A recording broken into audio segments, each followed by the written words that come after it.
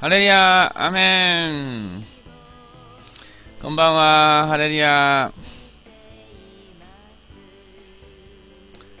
ハレリア。こんばんは。こんばんは。吉原さん。こんばんは。こんにちは。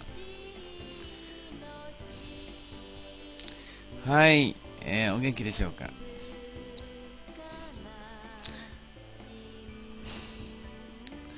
はい、太郎さん、こんばんは。太郎さん、こんばんは。ハレリア。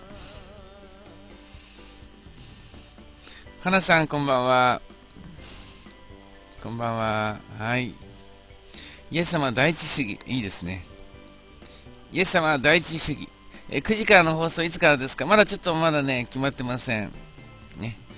えー、いつから、あの、まあ、9時からしてみようと思っていますが、いつからかまだ決まってません。すいません。あ、それからですね、あの、あ明日、あの、火曜日ですが、あの、すいません、花さんの放送はですね、もうちょっと遅くなります。一応ですね、13日かな。え来月13日の予定です。ごめんなさい。ちょっと連絡遅くなっちゃってすみませんでした。え明日する予定がちょっとあったんですが、ちょっとまた延期になりました。11月13日の火曜日の、そして1時10分ですね。あやぺさん、ハレリア。ハレリアと唱えたら、今日幸せになれました。アメン。えっと、11時からいつもやってたんですが、えー、1時10分。10分の意味？えー、1時10分から1時50分まで、ちょっと時間が時間が短くなりましたが、一応、えー、来月13日からやる予定ですので、でも、あくまでも予定ですので、すいません。昨日、今日と相談に乗ってくださり、ありがとうございました。アメン。アメン。えー、そうですね。えー、もうすぐ11月ですね。今日が29。あと3日で11月ですね。早いですね。はい。えー、今日のタイトルはですね、物質的な生活は良くなったが、精神的な生活はどうかなっていうことですね。え太郎さん祈ってくださりありがとうございました。アメン。昨晩夢に出てきていただきありがとうございました。えー、最近私の夢を見る人が増えてるみたいな感じでですね。あの、イスラム教の人たちがですね、あ、じっと音がする。これちょっと原因不明の雑音なんです。ごめんなさい。イスラム教の人たちがですね、あの、何かこの、えー、イスラム教の人たちが、あの、イエス様が夢に出てくるというのがあるらしいんですね。イエス様が夢に出てくる。はい。第3、アメン、ハレリア。そしてイエス様が夢に出てくるとなんかすぐ信じちゃうようなそういう感じですね。物質的に満たされても精神的には満たされません。アメン。そうですよね。そうですね。えー、皆さんはねあの、まあ、30代20代、30代、40代の方が多いと思うんですが、まあ、10代の方もいるかもしれませんが、まあ、あの私は私もですね戦後派なんですね、えー、戦後派であの、えー、まあ比較的ですね今よりも、まあ、はるかにあの物質的な生活は良くなかったんですね。で、えー、私がですね、まあ、小学校の時はですね小学校の時にはあの冷蔵庫あるでしょ冷蔵庫。ねこう冷蔵庫。電気電気冷蔵庫の前にはですねあの氷屋さんが氷を持ってきてですねでその氷をですねこの冷蔵木の木かなんかの冷蔵庫で中中に開けてですねこうえ氷を一番上に置くのかな。本当の豊かさとはって大学の試験に出ました。で氷をその冷蔵庫の中に入れて氷で冷やす冷蔵庫ありましたよ。私が小さい時ね。昭和昭和30年前後でしょうかね。昭和30年前後なんですけどえー、氷氷で冷蔵庫。それからですね、えー、洗濯はですねあの洗濯板ってあるでしょ、えー、もう皆さんのこう胸も洗濯板かもしれませんけど、こう洗濯、うん、でこぼでこぼこしてるね、洗濯板。で、洗濯、その大きなたらいがあってね、この大きなたらいがあって、その洗濯板でゴシゴシゴシゴシ、えー、ありましたね。洗濯板で、あのー、洗濯してました。それで、あのー、ちょっと経ったらですね、ちょっと経ったら、あのー電気洗濯機、ちょっと丸丸かったですね。今の洗濯機四角いですけどね。最初はなんか丸い洗濯機でですね。で、脱水はこう、あの、こう、なんとなく皆さんわかるでしょう。こう、えー、ロール、ロールがあってですね、こう、こう回して、で、こう回してこう絞っていく。ああいう脱水のローラーがありましたね。えー、掃除機、掃除機はかなり後かな。掃除機は、まあ、テレビ、ね、テレビはですね、私が小学校1年生ぐらいですから、昭和31年、1956年ぐらいかな、えー、テレビが来たんですよね、テレビがね。もちろん白黒ですよ、白黒。で、白黒で、えっ、とですね、えー、どんな番組があったかな、力道山とかディズニーランドとかですね、ディズニーランドがあったんですよね。ディズニーランドとか力道山とか、パパは何でも知っているとか、えー、サザエさんあったかな？サザエさんあったかもしれないけど、まあ、とにかく、えー、テレビ、白黒のテレビがありました。ね。で、こたつでしたね、こたつ。あの、火鉢とかね。この火鉢とか、それからこたつですね。あの私なんかですね朝早く起きて何をする冬なんか何をするかというとですねあのこの炭に炭をですねガスレンジでこう炭を炭をですね、えー、の火をつけてでその炭に火をつついたのをこたつに置いたみたいなね、えー、こたつの中にこう炭を置いてそれで炭の炭のこたつだったんですね。はい、まあそんな時代でしたね。トイレ、もちろん水洗トイレないですよ。水洗トイレなんか昔なくて、ね、あんまり良くなかったですね。もう不潔でしたね、不潔ね。トイレは不潔。で、お風呂もですね、お風呂も、まあ、お風呂は普通だったなんか巻きで炊いたかな巻きで炊いたのはちょっと覚えてないかな。それはちょっと田舎だったかな。田舎だったら巻きで炊いてましたね。田舎、田舎に行きますとね、私は千葉が田舎だ田舎だったんですが、あの田舎の台所行くと土間なんですね、土間。土間っていうのは土の床なんですけど、土間で、で、そのお釜がありましたね、お釜。でそのお釜をですね、あの、裏山のですね、焚き木ですね、焚き木を持ってきて、その裏山の焚き木でお釜を炊いてましたね。で、あの、水道、な水道は、お水はね、井戸ですね、井戸。井戸をジャージャージャージャーやってですね、えー、こういう、こういう井戸でね、やってましたね。まあ、とにかくそういう時代ですね。で、実はですね、えっと、今からですね、あの、何年前かな、6年か7年前、7年か8年前に、あの、ガーナ行ったんですね。あガーナじゃないや、ガーナにも行ったんだけど、インドに行ったんですね。そしたら、インドではですね、まだその当時、あの、私の小さい時と同じような生活なんですね。ちょっと写真をお見せしますからね。これは、あの、まさにですね、洗濯板使ってるかどうかわかんないですけど、これは、そのガーナの牧師のお姉さんなんですが、そのガーナの牧師のお姉さんが、やっぱり洗濯板使ってないけど、まあ、こういうふうにあのバケツの中で、まあ、洗濯してる。今今でも洗濯機がないわけですね。こうやってゴシゴシゴシゴシバケツの中で洗濯してるわけですね。それから、えー、これは台所ですね。台所。これはあの、えー、牧師のあ今の今の方の娘さんかな？今の方の娘さんでであのインドでなんかあのなんなんとかいうあのパンがあるじゃないですか。それを作ってるわけですね。それこうあのゴシあのローラーでゴシゴシこう台所でですねこうやってあのパンを作作るわけですね。それから、えー、これはですねこれはその井戸からですねこの井戸からこうやってあの何ですかあの水をね水をこう肩にこう亀亀をですね亀を肩に担いであの井戸から自分のところの井戸がないんですよ。で共同共同井戸でですね共同井戸ででその水を持ってきてでその水で食器を洗ってるんですね、えー、洗濯したり食器を洗ったり。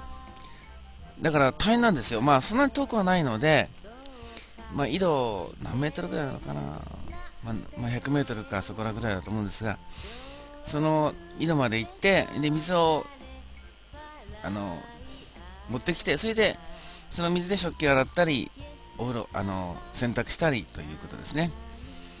でもちろんお風呂なんかないですからその水をあのちょっとかけるぐらいがお風呂ですね。でまあねあの国によってはもっともっとその水が遠くてですね遠くまで水を汲んでくるっていうところもたくさんあると思いますね今世界でですね。そうやってあの水を遠くまでその汚い水かなんかでね綺麗な水がなくて汚い水でこうでこれはやっぱり台所ですね。これはそのなんか焼いてんのかな？何を焼いてんだか分かりませんがなんか焼いています。ガスコンロプロパンかなんかあるのかな？一応電気もプロパンもあるんだけどもまあなんかガス電気もすぐ止まっちゃうみたいなね。まあ、とにかくこういう感じでえまあ今でもまあ非常にあの電気冷蔵庫はない電気洗濯機はない電気掃除機がないそれからえっ、ー、とね、まあ、とにかく日本と大違い。まあこういうですねあのこういう生活をしている人がまだまだ世界にたくさんいるということですね。たくさんいる。だからうん物質的にはですねまだ貧しい国がたくさんあるけどもあるけれども結局そのまあ、彼らは意外と明るくて元気みたいなね、えー、明るくて元気なんですが日本の場合は物質的に非常に、えー、生活がすごくいいわけですね。すごくいいけれどもいいけれども精神的にはどうかということですね、えー、ガーナもですねガーナはもしかしたらあのインドよりもっと貧しいかもしれないね。あの街の中は結構いいんですけどもやっぱりこう田舎の方に行くとですね、えー、まだまだ貧しい、えー、村がたくさんあったと思いますね。貧しい村がね。もう本当にあのうんとインドもそうなんですけどこのあのヤシの葉のねヤシの葉の屋根ヤシの葉で作った屋根とかヤシの葉で作ったこう家とかね そんなのたくさんあってあの安く家ができますよね。ヤシの葉っぱでもう家ができちゃうというぐらいですから非常に、えー、安く安く家ができますね。えー、まあそういうわけでですねあのなんて言うんでしょうかね。まあ、物質的にあの日本は生活が良くなってね、えー、まあ、洗濯とか料理とか、えー、掃除とかあまりそのあやっぱさん先進国ほど自殺が多い。うん。そうかもしれませんね、えー、その価値にあまりね時間を使わなくなってきたというのはいいですね。もう水汲みをしなくていい。で水道をひねれば水が出る。洗濯しなくていい。あ誰か来ましたね。え、ちょっと待ってくださいね。ちょっと。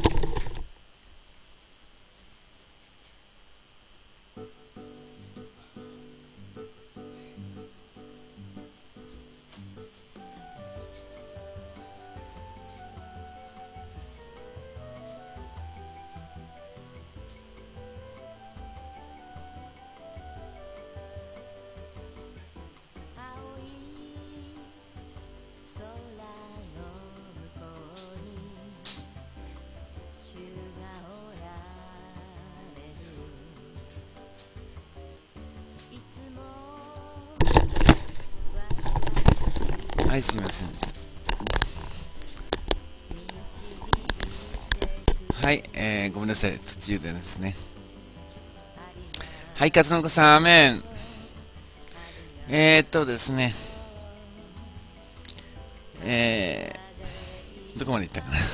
まあ、とにかく日本は非常に、まあ、物質的には、えー、豊かになったけどもしかしねえー、精神的にはどうかということですが、もちろんね、あの貧しくたって精神的な、精神的にあの苦しいところもたくさんありますよ。例えば内戦してるね、あの今、シリアでは内戦がありますけども、内戦してる国は大変ですよ。もうね、あの自分の家族が殺される。そしてあの難民となってね、こう家を家を出なくちゃいけなくなってその危ないから難民となって国内難民とか国外難民とかになってですねもう本当にあのそういう内戦のあるところは非常に厳しいと思いますね。えー、本当に、えー、世界はもういろいろ大変なことがたくさんあります。まあ、日本はですねあの精神的にはいろいろ競争社会でストレスが多くて、えー、いろいろ、えー、精神的に苦しい国かもしれませんが、えー、内戦とかですね内戦とか、えー、そういうこう政治が不安定ではないのでそのその意味では非常に安心安心できるかもしれませんね。え今日私がちょっとまあ言いたかったのはその日本は物質的な生活は良くなったけど、精神的に、まあ、よく言われますね、それはね。よく言われます。物質的な生活は良くなったけど、精神的にはどうかという、よく言われます。つまり、えー、この精神的、えなものがかえって逆に悪くなっている部分もあるということですね。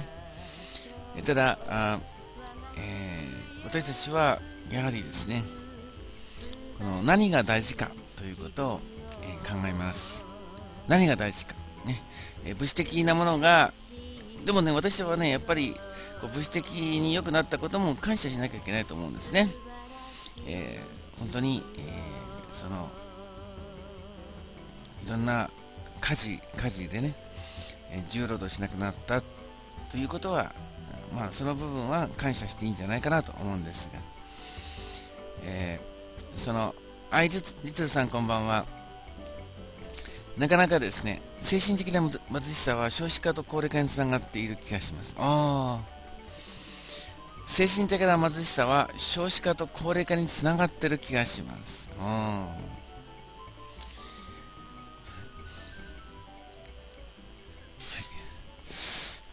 そうですね。まあ、精神的にこううまくいってないというのは、まあ、どういうことかということですが、まさにこれはですね、あのそのキリスト教から言えば霊的にっていうことなんですよね。えー、霊的に、えー、どうかということが大事かなと思います。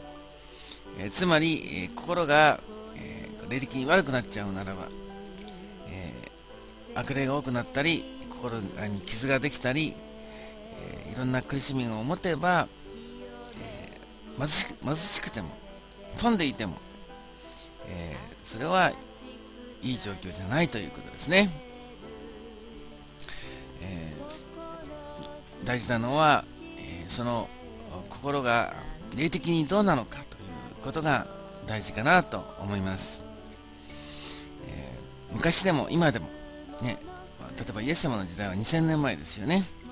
ですからその2000年前と今と比べたら圧倒的に2000年前の方が生活はまあ厳しいっていうか貧しいというかそういう状況かもしれませんがしかし、えー、その2000年前のクリスチャンたちは非常にですね満たされて喜んで幸せな状況だったわけです。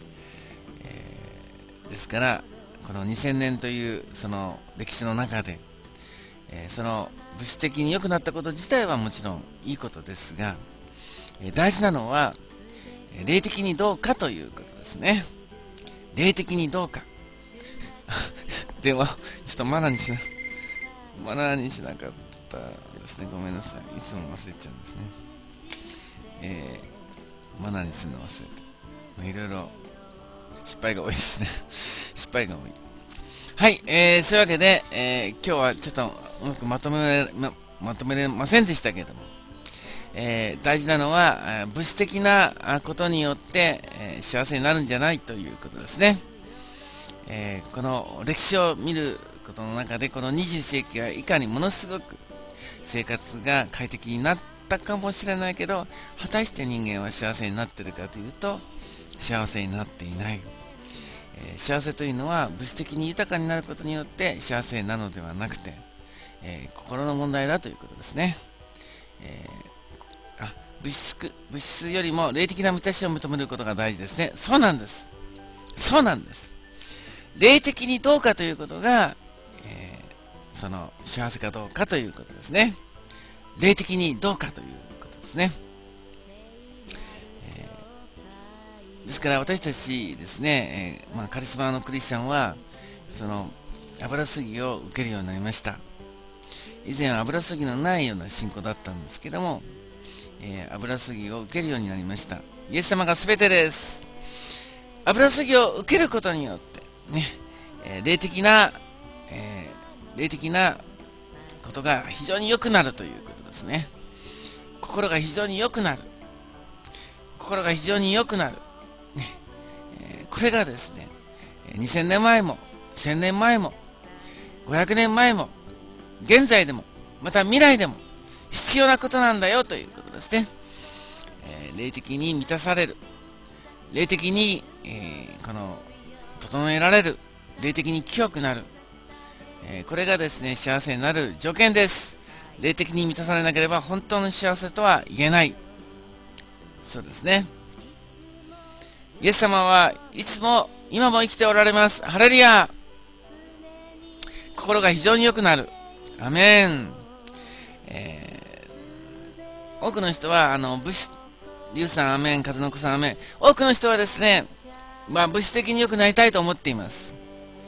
物質的に良くなりたいと思っています。しかし、ぜひ皆さん分かってほしいのです。物質的には、物質的に良くなっても幸せにならないんだということですね。物質的に生活が良くなっても幸せにならない。便利、便利になるかもしれない。それが幸せじゃないんだよということですね。本当の幸せは、本当の幸せは、えー、イエス様を持ってるということであり、霊的に満たされるということであり、霊的に喜ぶことであり、えー、イエス様と共に歩むことです。お金持ちになったら5万になりやすく、神様に感謝しにくくなります。そうなんですね。えー、お金持ちは神の国に入りにくいと書いてありますね、え神様のことよりもお金のことが大事になっちゃうからですね、えいつもあのこう挙げてるあの精霊のあの聖書の箇所なんですがお金がなくても傲慢になりやすいのが人間ですが霊的満たしには喜びと感謝が湧き出てきます、えー、大事なとこなので、えー、よく読むとこですがもう一度読みましょう。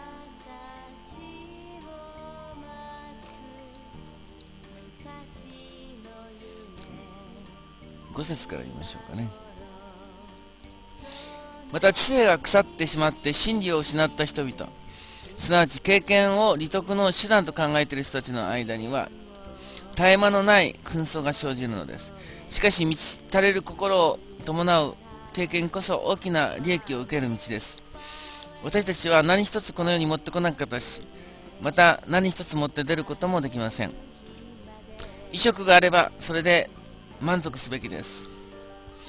金持ちになりたがる人は誘惑と罠とまた人を滅びと破滅に投げ入れる。愚かで有害な多くの欲に陥ります。ね。えー、私たちは衣食があれば満足すべきです。衣食があれば満足すべきです。物質的なことで幸せなのではなくて御言葉は真理です。物質的なことで幸せなのではなくて本当に幸せになるのは、えー、霊的なことなんだよということですね。霊的なこと。霊的なこと信仰的なこと。イエス様によって受ける霊的祝福。イエス様から受ける霊的祝福。これが本当の幸せなんだよということですね。本当の幸せ。本当の幸せ。まあ、よくあのジェフリーがですね Are you happy? って言うでしょ。Are you happy? あなたはハッピーですかということですがその本当のハッピーというのは本当のハッピーというのは、えー、霊的に霊的祝福を受けているかどうかということですね。霊的祝福を受けているかどうか。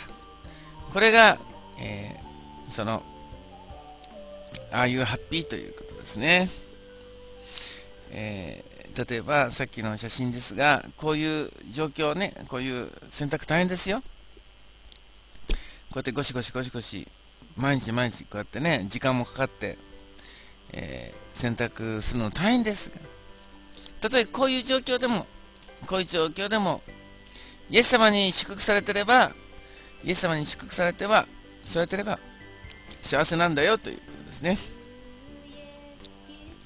えー、幸せなんだよということですね。はい、えー、それではですね、えー、今度英語いきましょうか。はい。物質的な幸せは刹那的です、えー、物質的な幸せは刹那的です。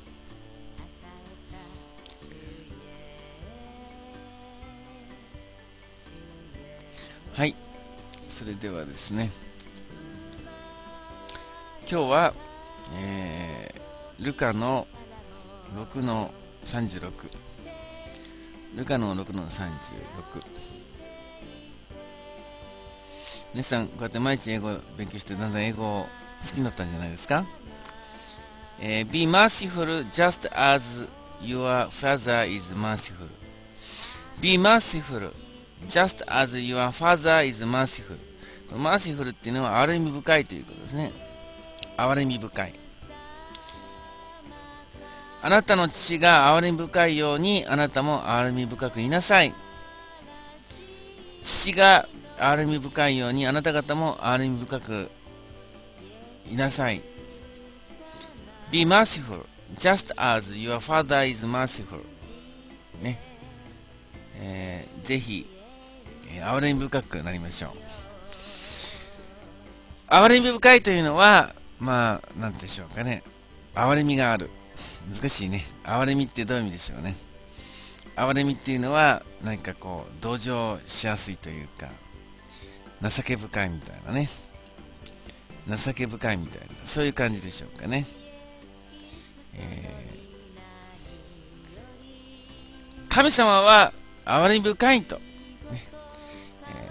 えー、神様は憐れみ深いですからね私たちも憐れみ深くなんなきゃいけないということですね、え、私たちも憐れみ深くなる必要があるということですねはい。それではですね、えー、あの、明石行きましょうね、明石。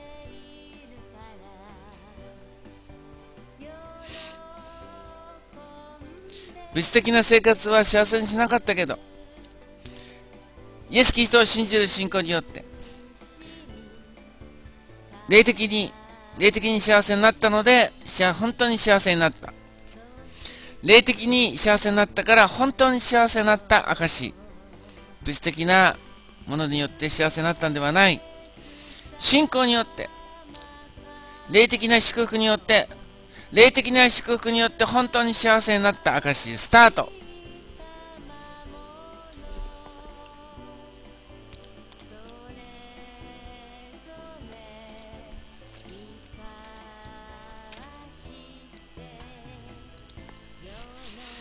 神様を信じたら物欲が減りました。洗濯板を使ったら神の愛が分かった。本当の解放感をいただいた霊的兄弟姉妹が与えられて幸せです。自衛隊を辞めて進行して今生アッポで幸せです。iPhone5 を買っても心は満たされない。信仰心のない人がサタンに見えるようになった。空がきれいに見えるようになった。サマーさん物物的な欲よりも精神的に裕福になりたい。アメン。心に余裕ができるようになりました。1日16時間労働も苦にならなくなった。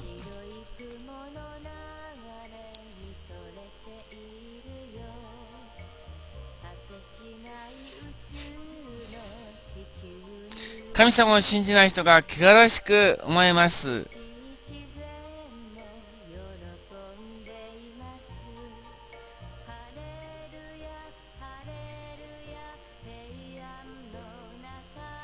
精神的に楽になりました。苦しんでる人を助けたいと思うようになった。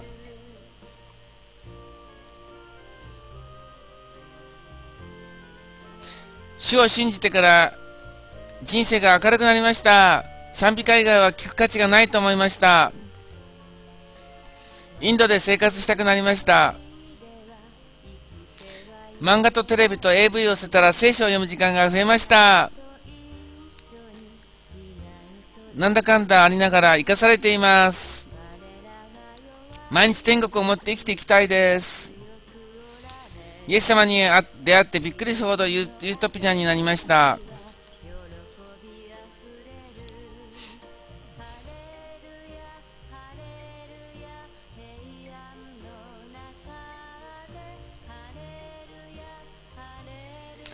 貧困ですが神に救われました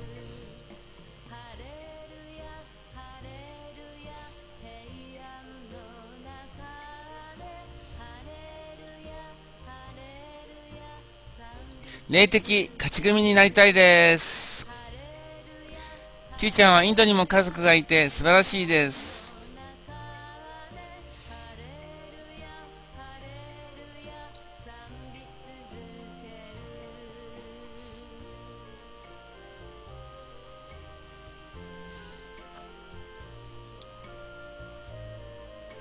心が霊的にきれいになりました。吉原さん。車を使わなくなったらエコになり、参勤交代の人の気持ちが分かった。少しのお金で困らなくなりました。何もないのに満たされている感覚になりました。Q ちゃんの誕生日に教会にお祝いに行ってもいいですか？いいですよ。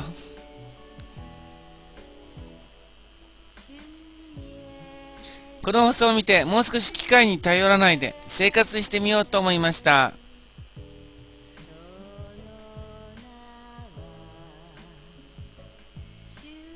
霊的な喜びが本当の喜びだと分かりました。リュウさん、アメン。足の手術がうまくいくように祈ってください。うまくいきますように。この方の足の手術がうまくいきますように。イエス様、癒してください。手術が成功しますように。愛に溢れている人生です。信仰の上かきを満たしてください。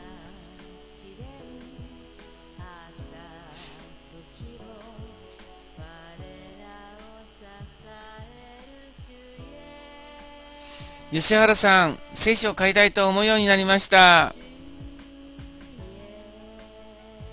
この前呪いをかけられました。大丈夫です。イエス様を信じている人は呪われません。大丈夫です。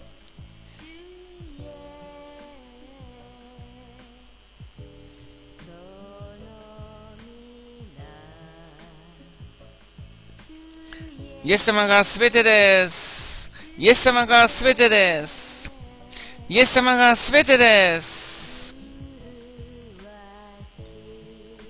外に出たら暖かく感じました。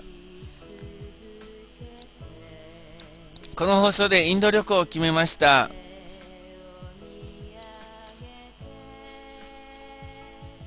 我々一人一人が尊いと思いました。霊的な喜びと肉的喜びが大違いだと分かります。分かった。神様がいるから生きていられます。アメン。身も心も温かくなりました。礼拝が素晴らしいと思えるようになりました。イエス様のことをもっと知りたいです。神様のために美しくありたいです。妻の手足のしびれを治してください、神様。アメン。占いですごいことを言われました。気にしなくていいです。占いはデタラメです。占いはデタラメです。占いを信じないでください。占いはデタラメです。占いを信じてはいけません。占いはデタラメです。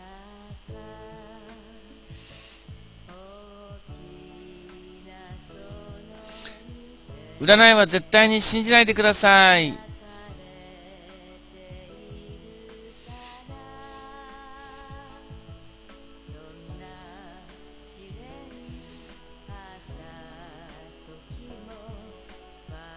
占い師は詐欺師だと分かりました。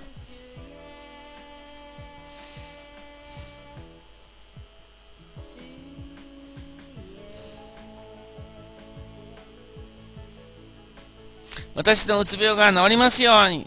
アメン。あの、ここにいる方々でうつが治った方がたくさんいます。占いでは絶対に救われません。占いは信じません。統合失調症が治ってきました。キーちゃんの笑顔で頭痛が治りました。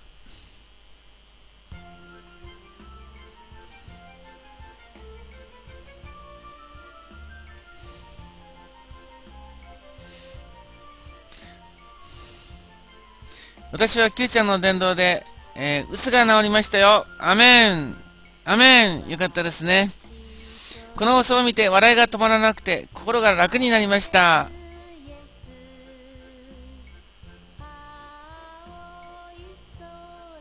この放送を見ることが本当の大吉だと分かりました。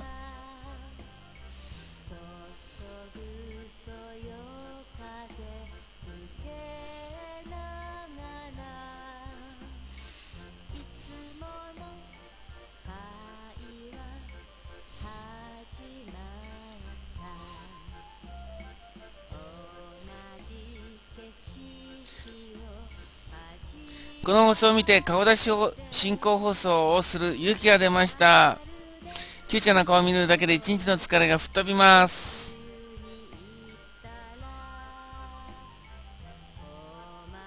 霊的に豊かな人生をイエス様はくださいました。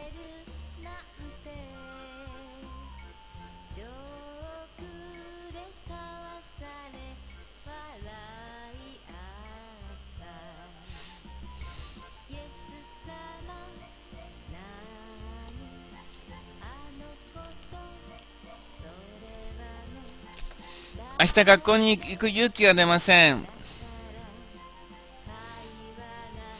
キューちゃんの配信を見て、見て寝ると悪夢を見ないです。アメン。霊的に救われることが本当の救いだと分かりました。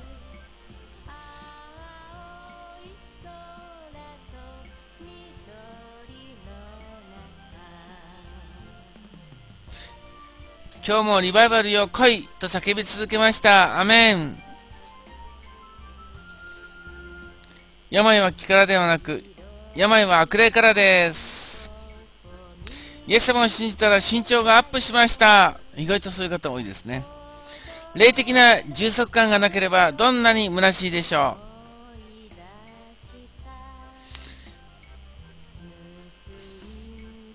う。もっと霊的に豊かになりたいです。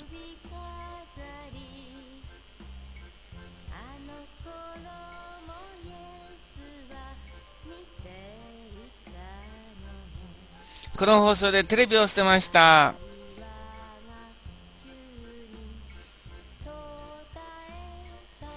祈っていたらがんがほぼ治りました。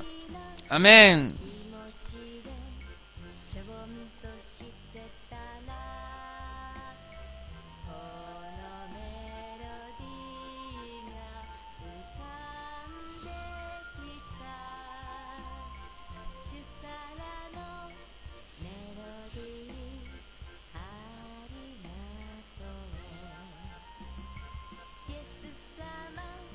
悪霊テレビに騙されなくなりました。規則正しい信仰生活でハゲが治ってきました。イエス様は物質ですが物質でない喜びや恵みをたくさんくださいます。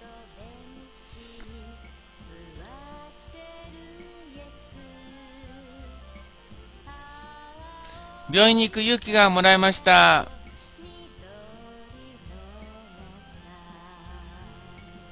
変な雑誌は買わない方がいいですか？買わない方がいいです。悪はどんな悪でも避け避けなさいと書いてありますね。悪はどんな悪でも避けま避けましょう。油注ぎが本当の薬です。油注ぎが本当の薬です。油注ぎが本当の薬です。アメン。はいありがとうございました。この放送を子供にたちに見せたいです。この放送を子供たちに見せたいです。アメン。アメン。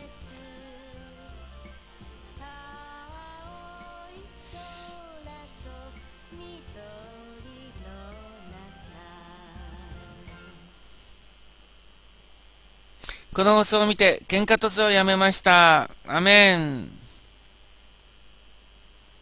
この放送を未来に残したいです。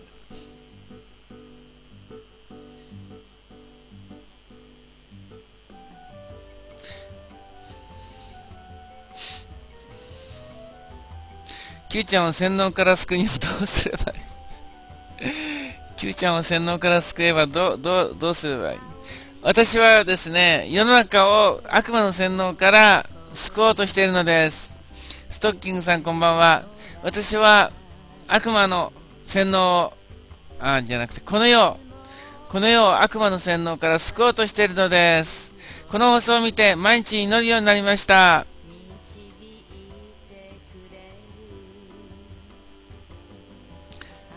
イエス様は皆さんを救うためにこの世に来たのです。イエス様は皆さんを救うためにこの世に来たのです。クリスマスはまさにイエス様がこの世に来たということですね。クリスマスはイエス様の誕生日ですがイエス様がこの世に来た。イエス様がこの世に来た。イエス様がこの世に来た。それは皆さんを救うためです。皆さんを救うためです。クリスマスはイエス様がこの地上に来られたということですね。もうすぐクリスマスシーズンですね。Q ちゃんは何のために毎日放送してるんですか？伝道ですね。伝道が目的です。はい、えー、それではですねファイナルメッセージいきます。ファイナルメッセージ。イエス様を伝え人を罪から解放することが伝道です。イエス様を伝え人を罪から解放するのが伝道です。アメン。アメン。えー、今日のですねあのポイントはですね今日のポイントは、えー、この21世紀非常に今便利な社会になったわけですね、えー、パソコンはある、ね、携帯はある、えー、iPad は iPhone がある。ね便利な世の中です。便利な世の中ですけど幸せじゃない。幸せじゃない。一体なぜなのか。なぜ便利な社会なのに幸せじゃないか。ね。その理由みんなに聞けばよかったですね。えー、ちょっとあの逆になっちゃいましたけどちょっと皆さん聞きましょうね。皆さん。はい皆さん。iPad がありネットがあり携帯があるのになぜ多くの人は幸せじゃないのか。ね。もう答えは言っちゃったんですがはい皆さんの答えを言ってください。なぜ物質的な生活は良くなったのに、えー、皆さんは幸せじゃないのか。皆さんは便利な社会、便利な、道具がたくさんあるのになぜ幸せじゃないのか。その理由は、心に余裕がないから。洗濯板を使わないから。お金がないから。欲が深いから。信仰がないから。心が上乾いているから。信仰に飢えています。イエス様の愛がないから肉的生活を求めるから霊的に満たされないからです。愛を必要としないから油すぎがないから物欲は限度がないからそうそうですね。本当の愛を知らないから。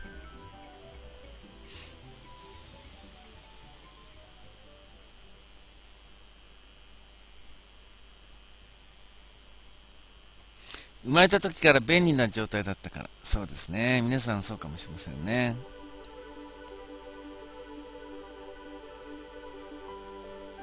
神に神に会ったことがないから。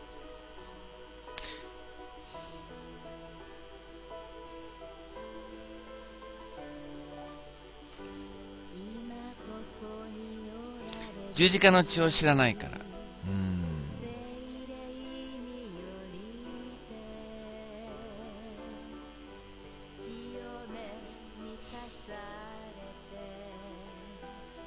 はいありがとうございました。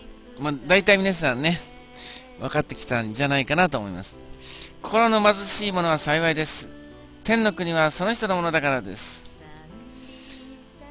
まあ、これルカではねただ貧しい者は幸いって書いてあるので私はそっちの方が分かりやすいと思うんですね、え貧しい者は幸い、え貧しい者は幸いっていうのはねあの貧困がいいと言ってるわけじゃないんです。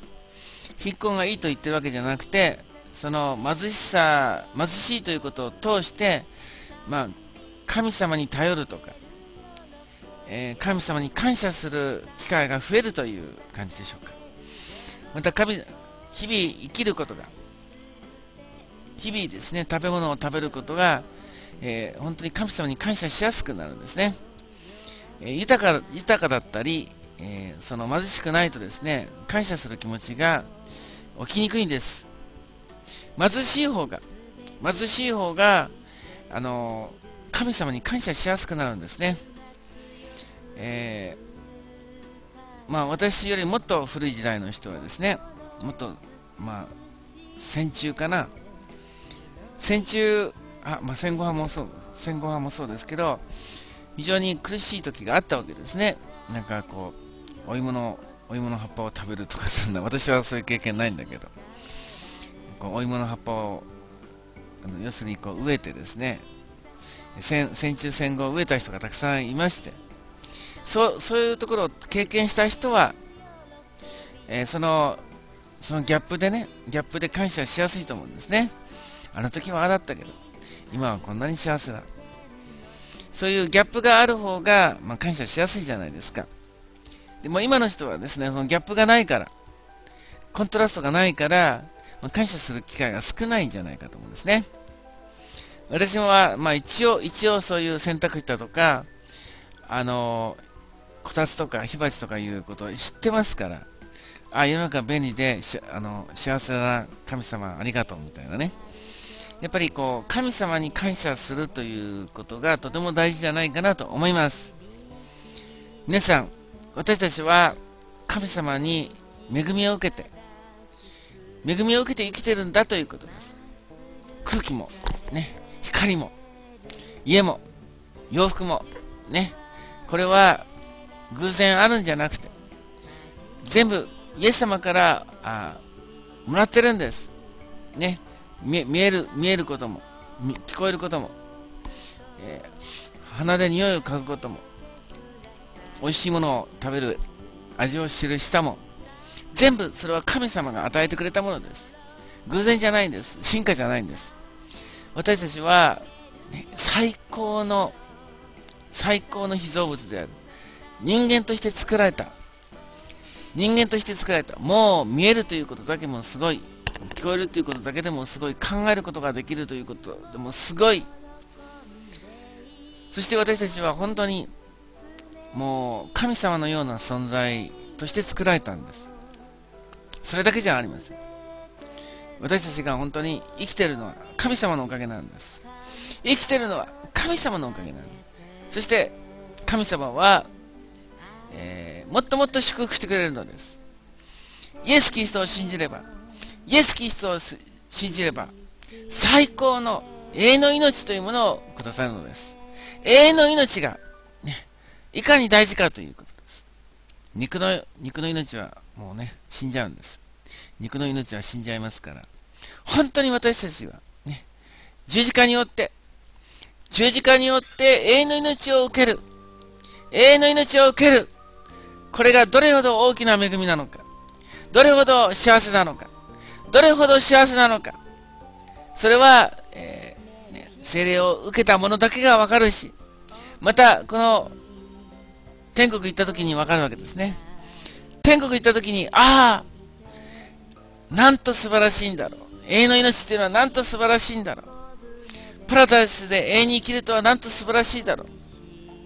それは天国行った時に実感するですが、しかしこの地上においても、この地上においても、この永遠の命を受けていることがどれほど素晴らしいか、どれほど素晴らしいか、ね、えー、油すぎを受けている兄弟姉妹は実感できてると思います。油すぎを受けてる兄弟姉妹は、その本当の幸せは、霊的な祝福であり、永遠の命であり、イエス様ご自身ご自身と言ってもいいです。イエス様ご自身を持っていることが、どれほど豊かなのか、どれほど幸せなのか、どれほど素晴らしいのか。ね。もう、もう他のものは何もなくてもいいぐらい。何も他のものはいらない。イエス様だけが持っていれば。イエス様だけ持っていれば。何もいらない。何もいらない。何もいらない。イエス様だけがいれば。イエス様だけがいれば何もいらないくらい。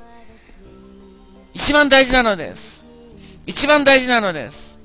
一番大事なのです。皆さん、えー、ぜひ、一番大事なものを理解してください。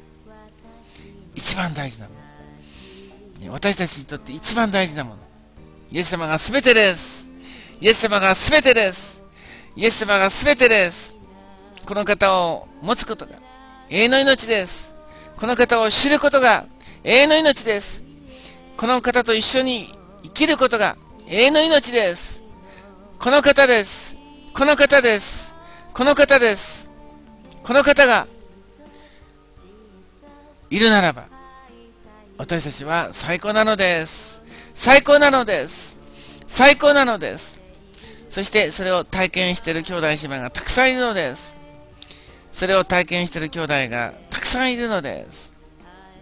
今聞いてる方々で、信仰によってそれを体験している方がたくさんいるのです。ね。吉原さん、アメン、アメン。はい、えー、そういうわけで、私たちは自分が体験するだけじゃなくて、えー、この方を持つようにお勧めします。えー、イエス様を信じて、リバイバルのビジョンが見えました。アメン第3、リバイバルのビジョンが見えました。リバイバルのビジョンが見えました。リバイバルのビジョンが見えました。アメンアメンアメンアメンイエス様に会ってから霊的祝福が家族に満ちました。霊的体験は素晴らしいです。えー、霊的体験は素晴らしいです。アメンアメンえそれではですね、え今まで、えその物質的な生活ばっかりを追っていた。物欲ばっかり追ってたけど幸せじゃない。苦しい。楽しくない。虚しい。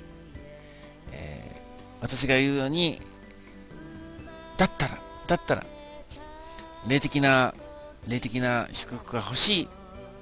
イエス・キリストを信じて、イエス・キリストを信じて霊的な祝福が欲しいと思った方、もう物欲では幸せじゃないんだ。えー、外面的なことでは幸せじゃないんだ。心の内側。内面が幸せにならなければダメだということが分かって。では、イエス・キリストを信じて欲しい。永遠の命が欲しい。霊的な祝福が欲しいという方、アメンと言ってください。昨日の礼拝でキューちゃん牧師は精霊に言いましたか？言いましたよ。アメンアメンアメン世の仕事より霊的仕事があります。アメン。アメン。アメン。アメン。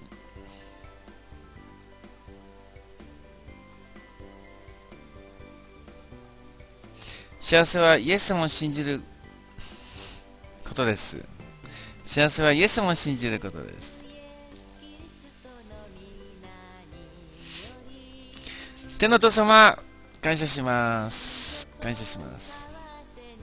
以前はあこの物欲で生きていましたけれども、しかし物欲では満たされないことが分かりました。イエス・キリストを信じる信仰によって、油注ぎを受けてイエス様に愛されているということイエス様によって、えー、恵みを受けているということを知って精霊を与えられて精霊を与えられて今私たちは満ちています今精霊で満たされています精霊で満たされています油注ぎを受けています霊が燃えています霊が燃えています。霊が燃えています。今、アーメンと言った方々に、もっと、もっと、もっと注がれますように。霊的に満たされますように。霊的に満たされますように。イエス・キリストを信じる者が、イエス・キリストを信じる者が、霊的に満たされますように。今満たしてください。今満たしてください。今満たしてください。今満たしてください。病気の方は癒されますように。病気を癒してください。苦しみのある方は苦しみがなくなりますように。問題がある方は問題が解決しますように。神様の力によって、神の奇跡によって、問題が解決しますように。病気が癒されますように。病気が癒されますように。うつが癒されますように。糖質が癒されますように。あらゆる病気が癒されますように。家族が救われますように。祝福が訪れますように。リスナーの方々の家族に祝福が流れますように。祝福が流れますように。イエス様どうぞ。今癒してください。今癒してください。今癒してください。祝福されますように。喜びが来ますように。喜びが来ますように。満たされますように。満たされますように。イエス様の皆によってお祈りします。アーメンアーメンアーメンアーメンアーメンアーメン皆さん、ね、油すぎを感じませんか？